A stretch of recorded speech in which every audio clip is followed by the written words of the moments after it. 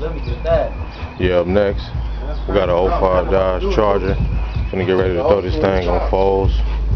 My boy came all the way out here from Bakersfield to get this done. So, I'm gonna get it ready for him. Clean foals. 24 by 10s. Ready to go. Wait till you see the finishing product of this right here.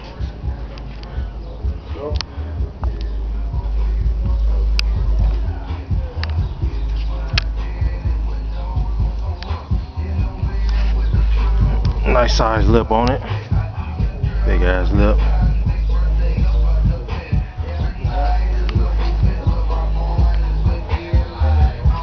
Stay tuned, baby. Hulk Kustoms. Google me at Hulk Benjamin 68 or Google me at Hulk Kustoms. Email me or whatever. Hulk Benjamin 68 at yahoo.com.